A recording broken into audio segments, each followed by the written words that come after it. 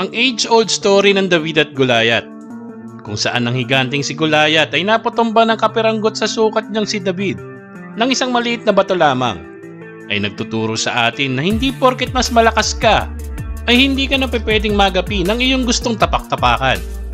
Sa mundo ng pagboboxing, may mga istoryang maihahalin tulad sa ating mga karakter. Hindi kasi nawawala ang mga mandirigmang nagpapakita ng pagyayabang dahil sa tingin niya sa sarili ay mas angat siya sa lahat ng aspeto kaysa sa kanyang mga hinahamong kalaban. Tulad na lamang sa kaso ng angas ng Pinas na si John Real Casimero na naging pambasag sa magandang estado noon ng boksingerong minaliit ang kanyang kakayahan. Ito ay sa katauhan ng 2 Division World Champion at pambato ng South Africa na si Solani Tete.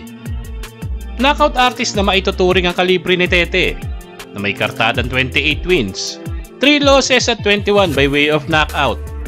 Kasalukuyang namamayagpag noon si Tete bilang WBO World Bantamweight Champion at papunta sa ikatlong depensa nito sa paghaharap nila ni Casimero. Samantalang ang angas ng Pinas ay galing sa apat na sunod na knockout wins matapos ang mapait na pagkatalo kay Jonas Sultan via unanimous decision noong 2017.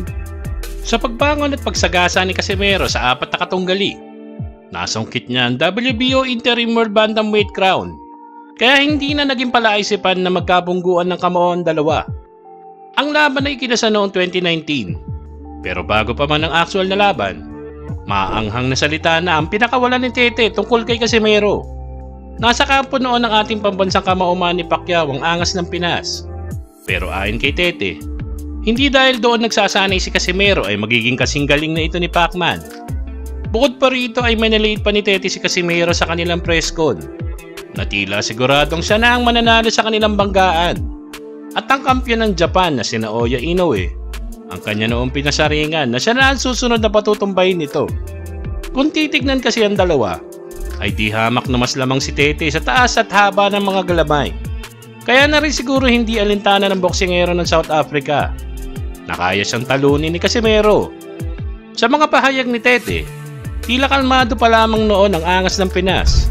Sa isang interview pa nga nito ay patawa-tawa lang sa mga pangasar na ginagawa ni Tete at ng kampo nito.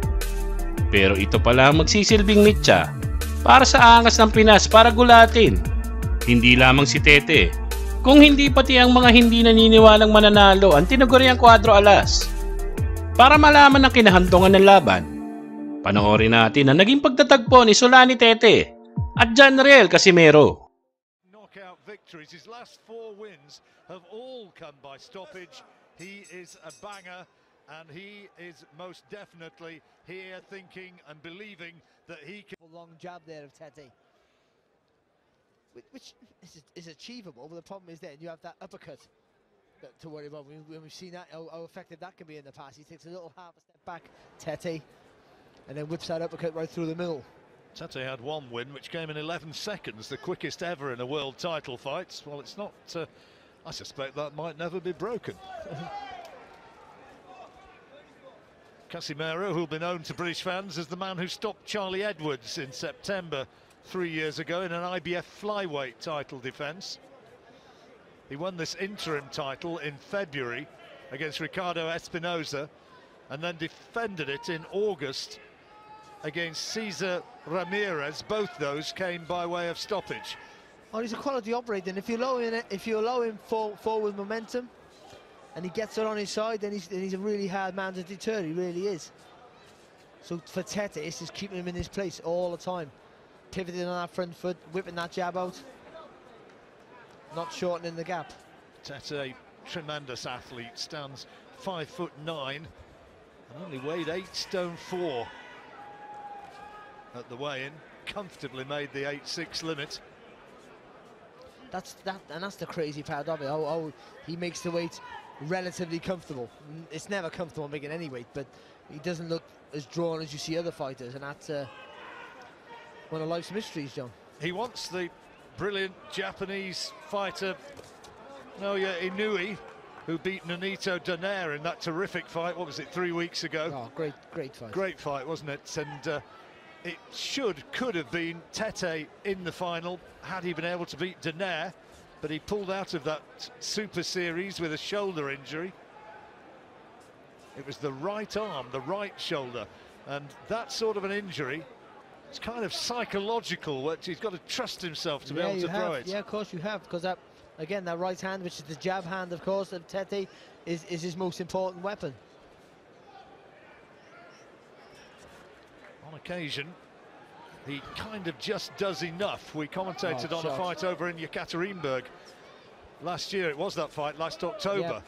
And that was that sort of fight, wasn't it? He won by about a four or five point margin, but he, he never really took any risks at all. No, I, I, you know, he, he can coast the fight, can he? So he can just, he can stick in second gear, just pick you off and be happy with that. Well, fairly quiet opening round.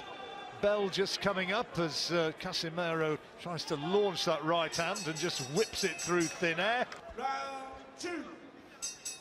Well, as we go into the second round, how did you score that one, Barry? I give it to Tete. I think just you know some of those flicking jabs were enough to give him the edge for me.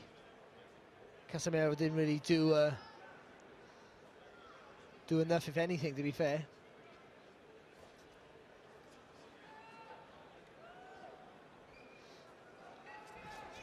Quiet sort of opener, wasn't it?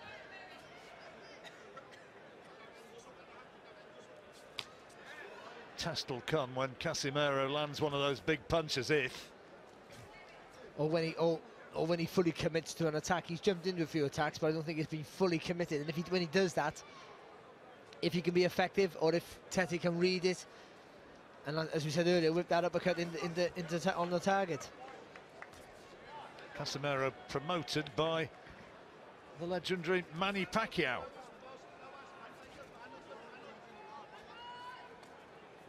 Sean Gibbons representing the little master over here. He's the chief executive officer or something of uh, Pacquiao Promotions. Or something. yeah, well, it's a significant job, you know.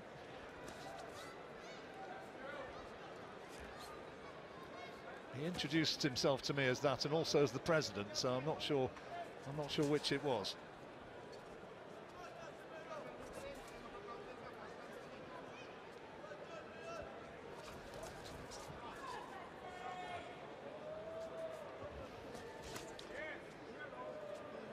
Again, Casimero got too much experience just to rush in because he knows he'll walk on the shots.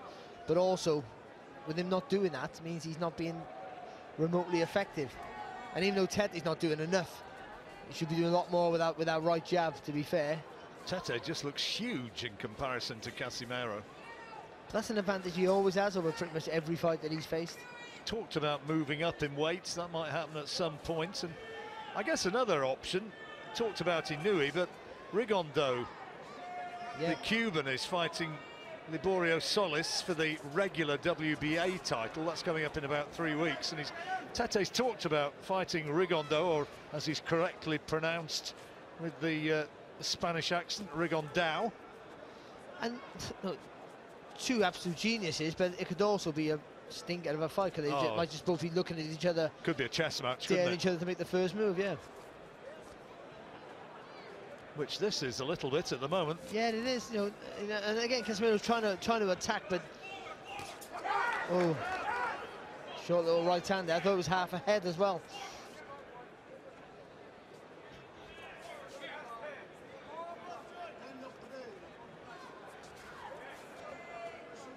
As ever, Tete's entourage came to the ring singing and dancing.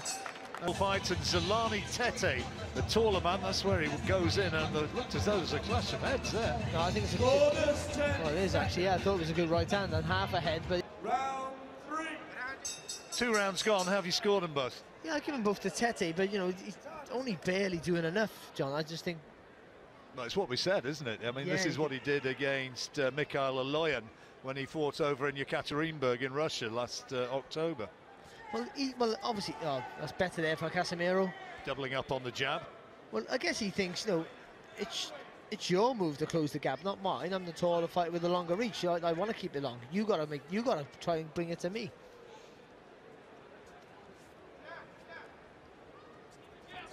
Bags of experience, though, Casimero.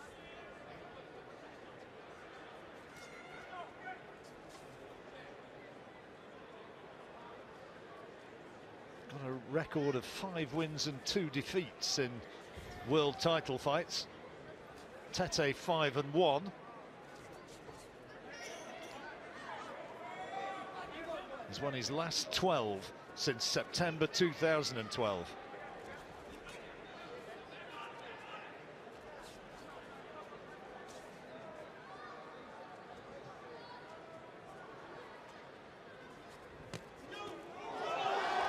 Casimero got him.